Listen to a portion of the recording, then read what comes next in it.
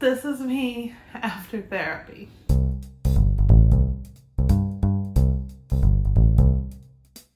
Fridays are self-care days. And this Friday, as has been every other Friday for I don't know how long, was a therapy day. I am feeling a little wrung out. Um, I've been crying for an hour, so I'm gonna drink some water, take care of myself a little bit instead of going out and doing things right away.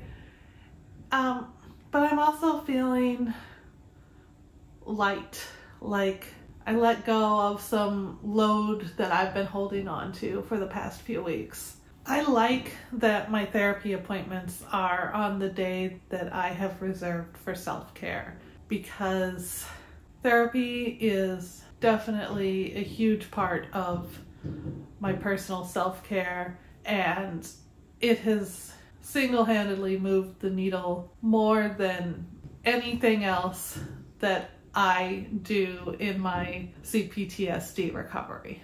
I make my therapy appointments for early in the morning, so then I have the whole day afterwards to kind of process and recover and take care of myself, knowing that the work, the hard work, is done.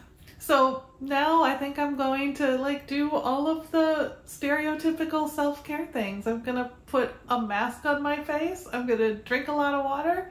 I'm going to paint my toenails and then I'm gonna decide what to do with the rest of my day.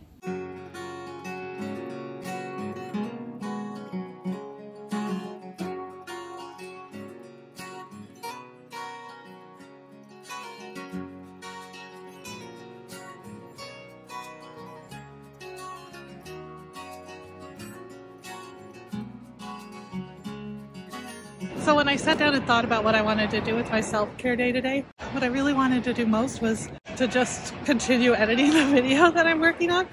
But I decided to do it in a nice to myself way. So I came to my favorite coffee shop and I'm gonna go inside, get myself a cappuccino and work.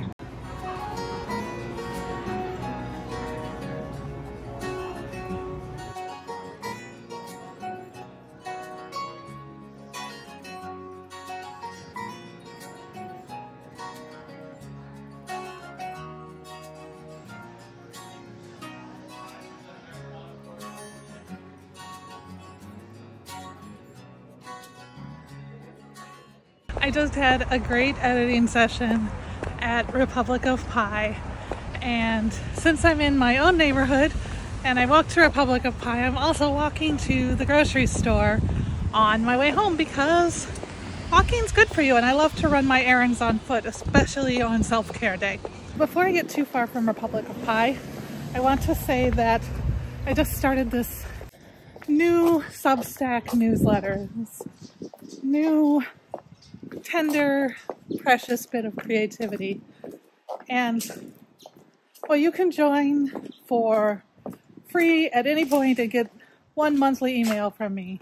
I set the subscription fee to get more regular emails at exactly the price of a cappuccino at Republic of Pie. So if you decide to support me in that way, that's what you're paying for. You're paying for that place and those moments. You're basically spotting me a cappuccino a month.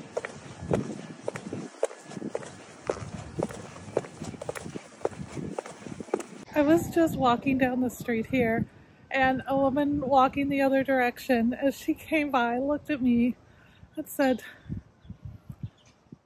I was just admiring how beautiful you are.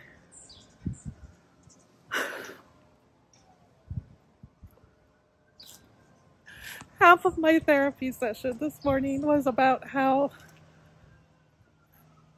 I, I don't feel beautiful. I don't feel pretty.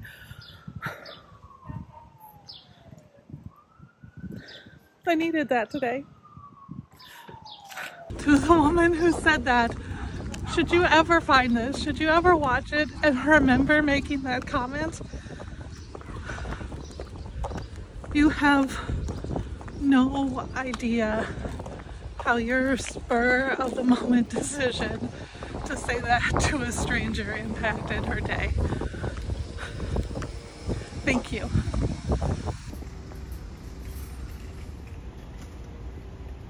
I am going to grab some ingredients for katsudon for dinner and then I think I might go home and take a nap. Um, lot of times I need a nap on therapy days and honestly that's a totally cool and valid way to spend a self-care afternoon. I made it back home. I got some mirin and some pork couldn't find any dashi, but I will make do. And I'm all ready for dinner tonight. It's not a difficult thing to cook, so that means that the rest of my afternoon is free to do whatever I want. And what I want is to take a nap and read my book. So that's what I'm gonna do. But before I go, I do want to tell you my three good things for the week. So this week, my first good thing, unexpectedly, is that woman that I ran into while I was out walking. What an amazing thing to be willing to say to a stranger. My second good thing this week is that we finally caught up on Ted Lasso. Um, it's a show that my husband and I like, and our son does not. So while he was out of town, we took the opportunity to binge what we had left of the season. I love that show.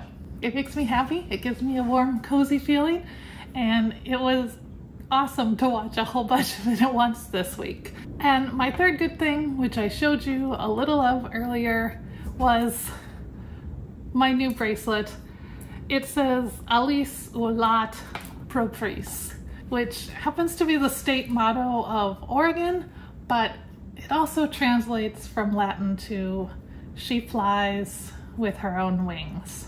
And I love having that statement on me all the time because it's a reminder that I am in charge of my own destiny and I am capable of flying on my own. It's perfectly okay if other people are flying along with me, but I don't want to forget that I have my own wings. I guess that's it for today. Until next time, I am wishing you love and joy and all those good things because you deserve to be happy. And I can't wait to talk to you again.